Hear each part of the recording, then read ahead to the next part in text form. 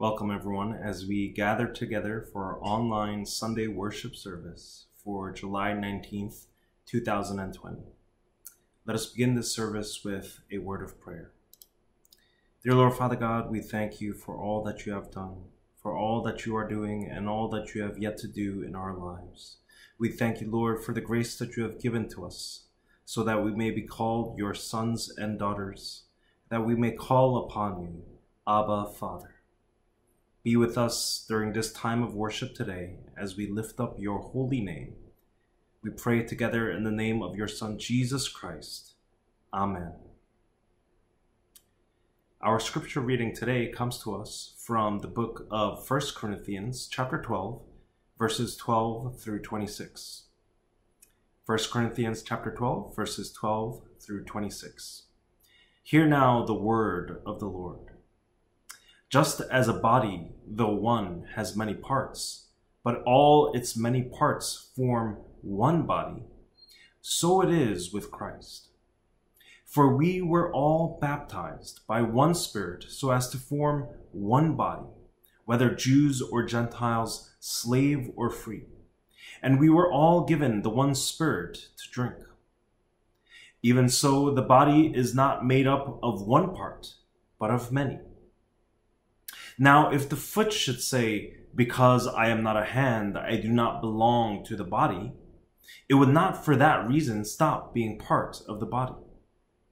And if the ear should say, Because I am not an eye, I do not belong to the body, it would not for that reason stop being part of the body. If the whole body were an eye, where would the sense of hearing be? If the whole body were an ear, where would the sense of smell be? But in fact, God has placed the parts in the body, every one of them, just as He wanted them to be. If they were all one part, where would the body be? As it is, there are many parts, but one body. The eye cannot say to the hand, I don't need you. And the head cannot say to the feet, I don't need you. On the contrary, those parts of the body that seem to be weaker are indispensable. And the parts that we think are less honorable we treat with special honor. And the parts that are unpresentable are treated with special modesty, while our presentable parts need no special treatment. But God has put the body together, giving greater honor to the parts that lacked it so that there should be no division in the body, but that its parts should have equal concern for each other. If one part suffers, every part suffers with it. If one part is honored, every part rejoices with it. The word of the Lord. Truly, thanks be to God. Thanks to all of you. It is good finally to be back worshiping again with my Awake Ministries family. As you may notice, I am filming from the same place as my last sermon. I am still here in New York. I will be leaving for Seoul next week. And I want to thank you all for all of your prayers, all of your concern, all of your thoughts for my mother. She is still in the hospital. Uh, but just thank you so much for all of the outpouring of support that I have received over these past weeks through messages and phone calls. And being here in New York, in America, unexpectedly, I did not plan to be here, but being here unexpectedly, I was able to celebrate the most important holiday of the American year. Of course, after Christmas. And this important day is Independence Day on July 4th. Now, if you want to know how Americans celebrate Independence Day, I'll tell you the secret. It is not very complicated at all. What they do is they get together with family and friends, they eat way too much food, and then they shoot fireworks at night. That's all they do. But as simple as that may seem, these are very important traditions for Americans to keep. Because Americans very fiercely value their independence. They love being independent and free, sometimes even to unhealthy extremes. In the midst of this pandemic, I've seen way too many videos of people refusing to wear masks in public. I have even seen some examples in person myself since arriving here in New York. People who walk around boldly, unashamedly, refusing to wear a mask. And these people will get angry and they will even get violent if people ask them to put on a mask because they are independent. You know, independence is certainly important for many countries. America gaining its independence from Imperial Britain, Korea regaining its independence from Imperial Japan, and countless other examples around the world of countries who value their independence. But what is independence? What is freedom? It is not a virtue that should be pursued above all other things, especially if we pursue it at the expense of others. And so Paul writes to the Corinthian church and to all of us today to tell us about a different model of living. Living not independently, but interdependently. Not celebrating independence from each other, but celebrating our interdependence, the fact that we do depend on each other. Just as a body, though one, has many parts, but all its many parts form one body, so it is with Christ. A body cannot function when one of its parts is damaged, when one of its parts is malfunctioning. For the health of the whole body, the health of one part is very important. Now, I always knew the biblical truth of what Paul was saying here, this message. And in school, I had learned the scientific reality of how God has designed the human body, the physical human body. But I did not truly understand this fact, this truth, until very recently. Just how important one part of the human body truly is. As you all know, my mother has been very sick, which is why I have extended my time here in New York. She was first diagnosed with autoimmune encephalopathy, which means that her immune system was attacking her own brain. As a result, she was getting fevers every single day, getting as high as 104 degrees Fahrenheit. And when these fevers came, my mother would have all these different symptoms. She would have memory loss. She would have speech and movement problems. She wouldn't be able to speak properly. She wasn't able to even pick up a spoon or to use her phone. And she would even have seizures. Now, because of the coronavirus pandemic, the hospital only allows one visitor per day, but almost every day I would go to visit her.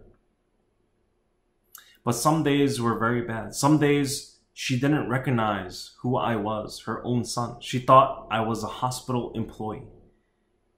And it broke my heart when she asked me to go and find her son, to ask her son to come to the room. Other days, she couldn't even lift her hand. I had to spoon feed her, spoon feed her like a newborn baby. And at other times, she would open her, eyes. She would be awake, but I could see that she was not there. The person was not there. And she would just speak nonsense. Having a fever for just one day is hard enough, but she had been like this for over a month, growing weaker and weaker every single day. It was so difficult seeing her like this. At one point, our family agreed that we may need to start preparing ourselves emotionally. We might need to start preparing for the possibility that we would lose her, my mother, that we would lose her forever, whether to death or just her mental state never fully returning. And throughout all this time, the doctors could not figure out what was causing all of this to happen. You know, it's a very scary thing for the doctors to be just as confused and desperate as you are. Because doctors are supposed to be the ones that know what we do not know. Through their education, through their experience, they're supposed to know what we don't know. Through their treatments, through their medicines, they are able to control or should be able to control what we cannot control. But I realized through this experience that truly only God knows. Truly, only God is in control. Finally, they found out that she has lymphoma in her bone marrow. And as shocked as our family was to hear that it was cancer, it was also a relief to finally have an answer. And even the doctors were relieved to finally find the reason. It was amazing because when the doctors came to give me the news, a team of eight different doctors from all different departments came to see me. A doctor from oncology, a doctor from hematology, a doctor from neurology, a doctor from endocrinology. I learned so many different ology names this time at the hospital, and other departments I can't even remember. They all came as a group together to let me know what they had found because my mother's case had become such a top priority at this hospital because it was such a mystery. And they had all these different departments working together on this case. And even they were so excited that they had finally found an answer. She has now started chemotherapy the very next day, and we are already seeing great improvements in her condition. We are seeing her finally getting better. And again, I want to say thank you to all the Awake Ministries family, especially to Pastor Emeritus and to Senior Pastor uh, for all of the prayers, all of the understanding during this difficult time. But truly, it is amazing that just one part of my mother's body malfunctioning, just one part of my mother's body not being well, could cause all of these terrible symptoms, that it could affect the entire body in such a way. Paul wants us to remember the value of each and every part of the body. He tells us God has put this body together. God has put this body together, giving greater honor to the parts that lacked it, so that there should be no division in the body, but that its parts should have equal concern for each other. Because if one part suffers, every part suffers with it. If one part is honored, every part rejoices with it. And that is the truth of Christian living. If one of us suffers, if one of us fails, all of us share in that failure and that suffering with him together. If one of us succeeds, if one of us thrives, then we can all share in that joy together with her. We as Christians are not isolated. We are not independent pockets of self, unconcerned with the other. We have this deep and unbreakable connection with the brothers and sisters of Christ that God has placed around us. God has placed them, each one of them, as He sees fit, as He wants. Truly, we depend on one another. That is why Paul tells us in Romans chapter 12, verse 15, he tells us, rejoice with those who rejoice, mourn with those who mourn. No matter what personal achievement or glory we may have attained, it doesn't mean anything outside of that body where we depend on one another. No matter what personal achievement or glory we may have achieved, it does not mean anything outside of the body if I make a large salary, but I have no concern for the financially needy, I have earned nothing. If I have advanced academic degrees, but I look down on those who have not studied as much as I have, I have learned nothing.